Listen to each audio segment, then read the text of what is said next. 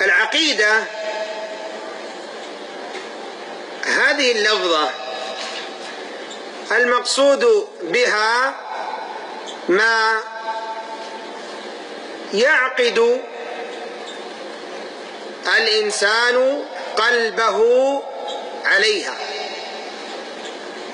والعقد هو الربط من شر النفاثات في العقد.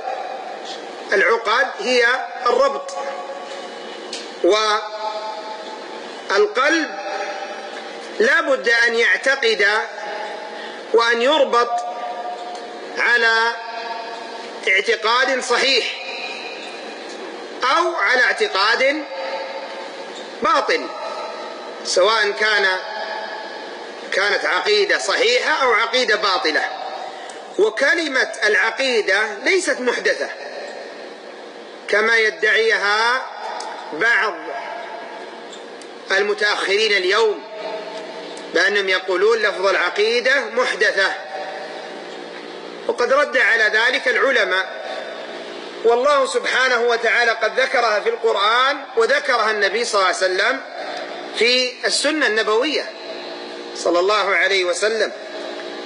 أما في القرآن قوله سبحانه وتعالى لا يؤاخذكم الله باللغو في أيمانكم ولكن يؤاخذكم بما عقدتم الأيمان. بما عقدتم الأيمان. واعتقدتم وجزمتم في قلوبكم. فهذا من العقد.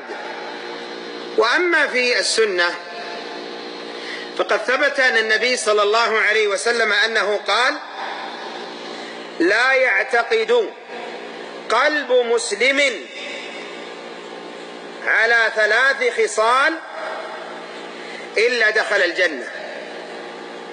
إلا دخل الجنة.